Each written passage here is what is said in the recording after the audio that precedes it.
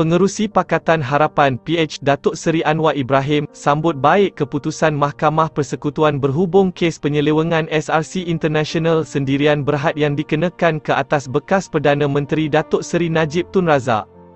Keputusan ini membuktikan rakyat itu berkuasa dan telah membuat satu keputusan untuk memastikan badan kehakiman bebas dan bersihkan negara daripada rasuah. Kita hormat keputusan Mahkamah Persekutuan bersabit kes Datuk Seri Najib Tun Razak ini membuktikan rakyat itu berkuasa. Rakyat membuat keputusan pada tahun 2018 untuk memastikan badan kehakiman bebas dan bersihkan negara dari rasuah, katanya menerusi sebuah video yang dimuat naik di Facebook pada Selasa.